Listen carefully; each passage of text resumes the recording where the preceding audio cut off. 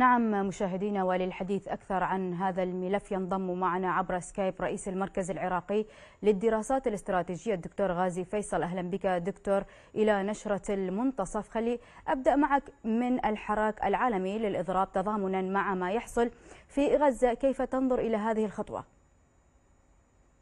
نعم مؤكد يعني هذه التظاهرات هذه الاحتجاجات الكبرى في الولايات المتحدة الأمريكية في الدول الأوروبية إسبانيا فرنسا ألمانيا بلجيكا أيضا المواقف الرسمية في الواقع لرؤساء الدول فرنسا كما أشرنا إسبانيا تصريح وزيرة الخارجية الإسبانية بإحالة السيد نتنياهو لمحاكم جرائم حرب رئيس الوزراء الإسباني مسألة مؤتمر دولي من أجل التوصل لدوله فلسطينية مستقلة ذات سيادة.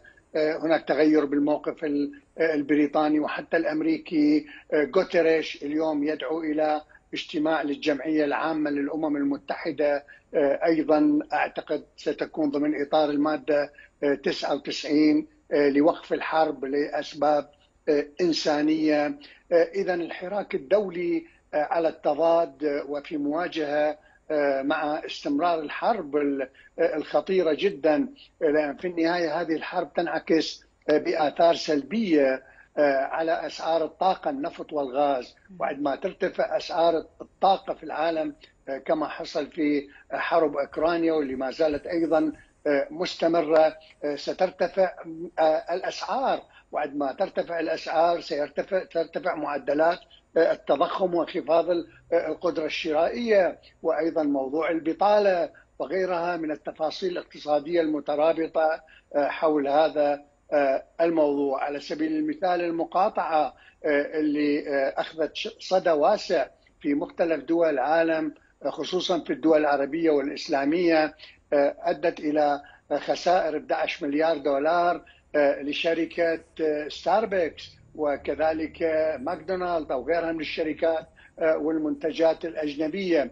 كل هذا ينعكس على أسعار أسهم هذه الشركات في البورصة بسبب انخفاض أرباحها وبالتالي تتكبد خسائر كبيرة تنعكس على الاقتصاد العالمي. نعرف تماما أن الاقتصاد اليوم هو اقتصاد معولم مترابط. فأكيد كل ما يحصل اليوم من اختلالات اقتصادية على صعيد العلاقات الاقتصادية الدولية ما يتعلق بالطاقة، الأسعار، التضخم، الإنتاج، البطالة، كل هذا ينعكس بآثار خطيرة على العلاقات الاقتصادية الدولية والاقتصاد الدولي. نعم دكتور يعني هل يمكن أن تؤثر هذه الخطوة على ما يحصل في غزة وأيضا على الموقف الدولي حيال الانتهاكات التي تحدث في غزة؟ الموقف الدولي عموما أصبح تقريبا يذهب بالإجماع نحو وقف هذه الحرب يعني باستثناء باستثناء الولايات المتحدة الأمريكية اللي لديها اعتقاد لاحظناه يعني كمبدأ في السياسة الخارجية أو الاستراتيجية الأمريكية عندما تندلع حروب. لاحظناه في موقف غونداليزا رايس في حرب 2006 بين إسرائيل وحزب الله عندما دعت إلى عدم وقف هذه الحرب حتى تحقق أهدافها، اليوم نلاحظ نفس التصريحات عند القيادة الإسرائيلية وعند الإدارة الأمريكية أيضا، بمعنى هذه الحرب تستهدف تفكيك وازاحه حماس من المشهد السياسي في غزة وفي فلسطين عموما. وأيضا تعتبر أن حماس منظمة إرهابية سواء في أمريكا أو في إسرائيل. هذا يبيح لإسرائيل إذا جاز التعبير طبقا لمنطق يعني إسرائيل نفسها أو حتى أمريكا الحرب على الإرهاب مشروعة. اذا ستستمر هذه الحرب حتى تحقق أهدافها وأيضا تذهب نحو إعادة صياغة البنية السياسية والاقتصادية لغزة والعودة إلى البحث في إطار سياسي مختلف تماما من غزة إلى القدس إلى رام الله. هذه كلها سيناريوهات بالنهاية لكن الهدف الأساسي استمرار هذه الحرب. من يقول ستستمر لشهر لشهرين وهناك أيضا أحاديث ممكن تستمر لسنة وسنتين. وكل ما راح تستمر هذه الحرب أكيد ستنعكس بكوارث اقتصادية على الاقتصاد الإسرائيلي والفلسطيني وعلى الاقتصاد الإقليمي وحتى على الاقتصاد الدولي. اليوم تكلف هذه الحرب إسرائيل بحدود يعني بنهاية هذا الشهر حدود 200 مليار دولار. وهذه كلفة جدا باهظة كلفتها اليومية 200 مليون. وتتصاعد وتنعكس بآثار سلبية على اقتصاد إسرائيل واقتصاد فلسطين بحكم هذه الفوضى الخطيرة اللي تمتد ومستمرة حتى يومنا هذا. اذا يعني لن يكون هناك يعني حصيلة اقتصادية أو فائدة اقتصادية من هذه الحروب أكيد لا لكن هي حرب مستمرة لأهداف استراتيجية وأكيد ذات آثار سلبية على الاقتصاد الإسرائيلي والفلسطيني واللبناني والسوري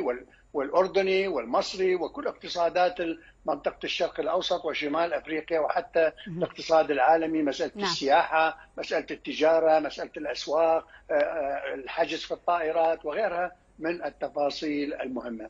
نعم دكتور أنتقل معك إلى ملف آخر يخص الشأن الداخلي وإجراء انتخابات مجالس المحافظات، يعني السوداني جدد التجديد على تأمين الخيارات الحرة للمنتسبين والمقاتلين أثناء التصويت الخاص وعدم التأثر على خياراتهم الانتخابية نعم. إلى أي مدى ترى أنه سيتم الالتزام بالقرارات الحكومية لإجراء انتخابات شفافة ونزيهة؟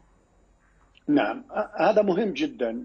وما تفضلت به يجب أن تكون الانتخابات شفافة نزيهة ديمقراطية بمعنى عدم فرض الآراء عدم فرض مرشحي الأحزاب عدم التزوير عدم دفع الأموال وغيرها من يعني السياسات أو الاتجاهات المشوهة مع الأسف اللي مارستها الأحزاب في الانتخابات السابقة واحتمال أيضا ممكن تمارسها في هذه الانتخابات لأن اللي مارست ضغط حتى مسلح تهديد أو أنفقت أموال أو زورت أوراق أو غيرها من التفاصيل اللي شفناها في حرب 2018 بصورة خطيرة وشرحها يانجوفيتش بشكل مفصل أمام مجلس الأمن الدولي في حين ما كان ممثل للأمين العام للأمم المتحدة. اذا وكانت أيضا هناك توجهات إنه شفافة ونزيهة وديمقراطية إلى آخره لكن الواقع شيء آخر تماما.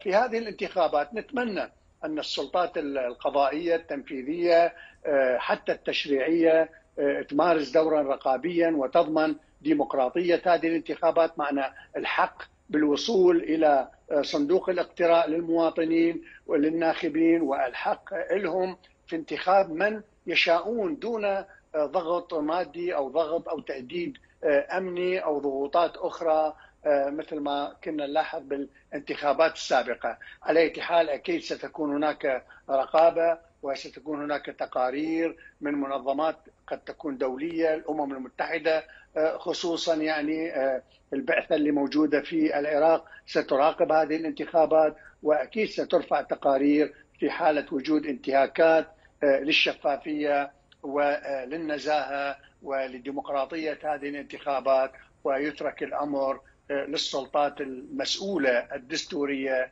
لاتخاذ القرارات بشرعية أو عدم شرعية هذه الانتخابات. نعم الرئيس المركز العراقي للدراسات الاستراتيجية الدكتور غازي فيصل شكرا جزيلا لانضمامك معنا.